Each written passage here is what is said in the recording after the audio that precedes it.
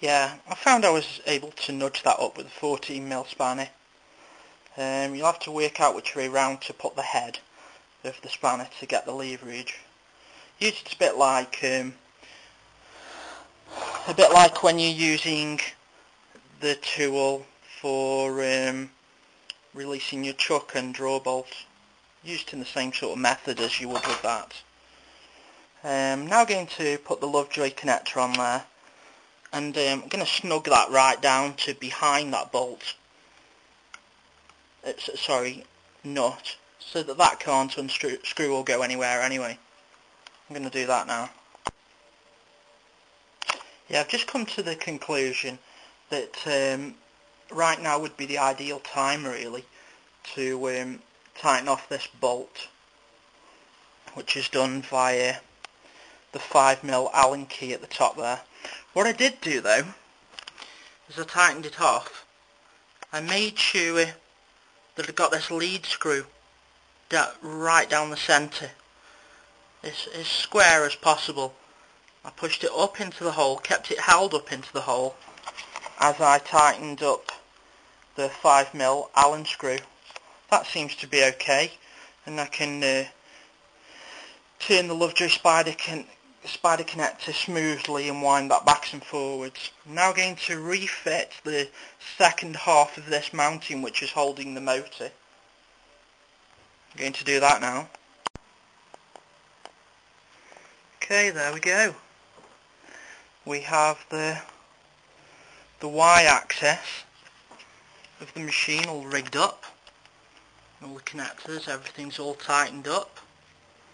So we can now uh, stand the machine back up again, ready to do the uh, x-axis of the machine, which is the last axis of a standard machine.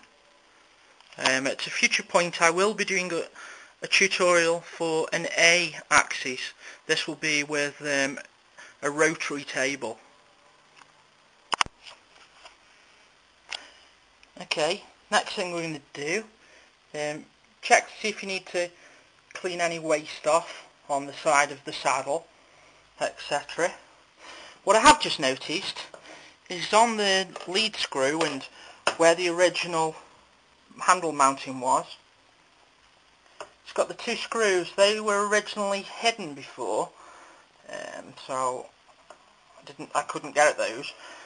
And um, what we're going to do is we're going to undo those two screws and you'll see that you've got two holes in the top of your new Y mounting point.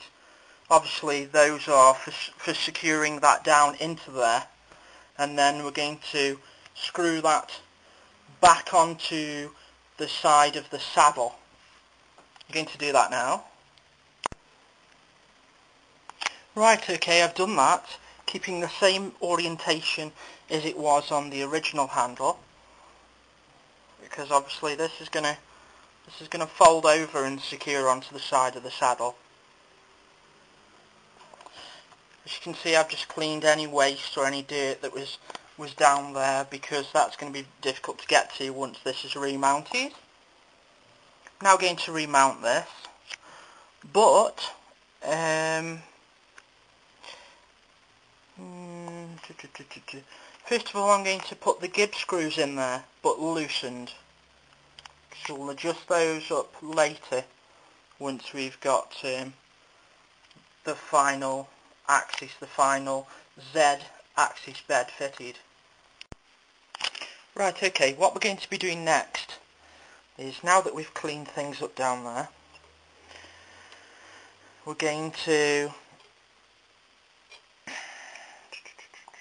take the concertina, the rubber concertina, we're going to remount that um, by locating the rubber against the side of the saddle first, then the metal will go behind it, so we're going to be like that, and then we're going to be putting the two screws back in underneath, which were put safely to one side earlier, which are located in, in the handle there. I'm going to re fit those now. Right, the way in which I've prepared that is I've laid the plastic this way, laid the piece of metal across it, popped the screws through, and then through the rubber. The rubber's then gripping those screws. Be able to then fold that back on itself. And that's ready for me to now screw it back into place using the posi screws. That's now completed. That was pretty straightforward. Okay, let's get this um, last axis up and running and back in place. Okay, so first of all, we need to take our new lead screw, lie that across the bed, drop it into place. Okay, now that that's dropped into place, going to need to hold it flat to the saddle, then tighten the two two 3 mil Allen keys that we've got under there, which we released earlier in the tutorial. Going to do that now. Okay, I've left those loose for the moment. I think those are going to require further adjustment. Okay, next I'm going to mount the gib. Okay, I've re-slid the gib into place. Remember these are fully loosened at the moment, so they're not gripping the gib.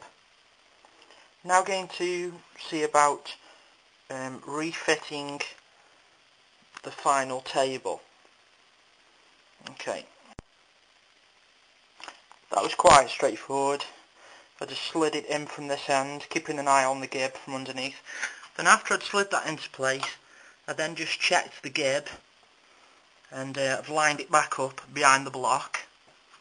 And uh, I think it'll be okay to just uh,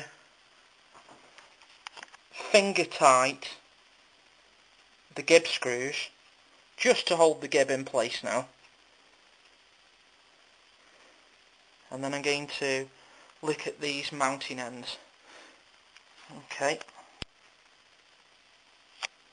Okay once you've got those so they're just like finger tight I've used um, 3mm Allen key don't want them too tight because you're going to lock off this bed else just adjusted them so that there's no slop and it easily it can slide backwards and forwards.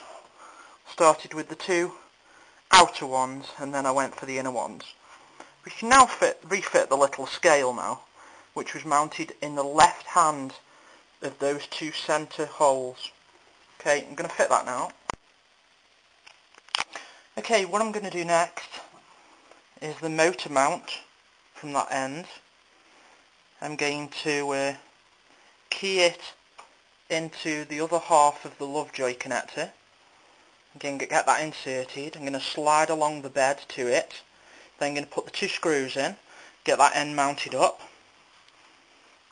Okay, the two screws are ones that we saved it from earlier, from that end, which I've got there. Okay.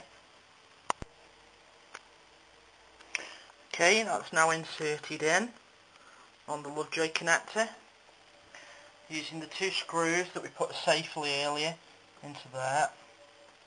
Now I'm going to screw that to the bed. I'm going to slide the bed along to the block and then I'm going to screw through into the in, from the block into the bed. Okay, just catch it with just one. Then put your other one in, line it up with the hole, get it so it just catches, then push your block, sorry, then push the bed up against it and then tighten them up and see them home. Right, okay, we've got that mounted there now, wires to the back, okay, got this one with the wires to that way, got this Z-axis with the wires to the back. Okay, we're going to concentrate on this end now. And uh, then that'll be finished for the mechanical side of things. As you can see, my desk looking a bit of a mess here.